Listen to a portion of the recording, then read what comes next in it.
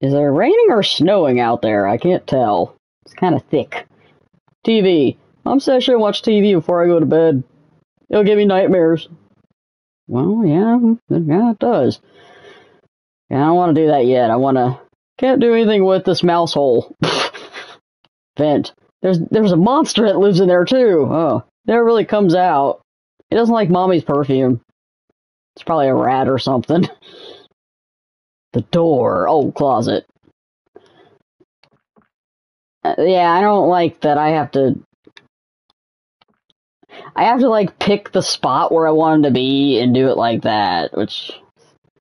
Are you not going to say anything about the closet, little boy? Check it. Say something. Okay, I guess not. Alright, uh. Alright, I guess we'll go to bed then. Nice and snug. Bobby, could you please turn off the lights? Oh, there she. Are you all ready for bed, Mark? Yes, Mom. Okay, honey, good night. And remember, if you see any monsters, just ignore them.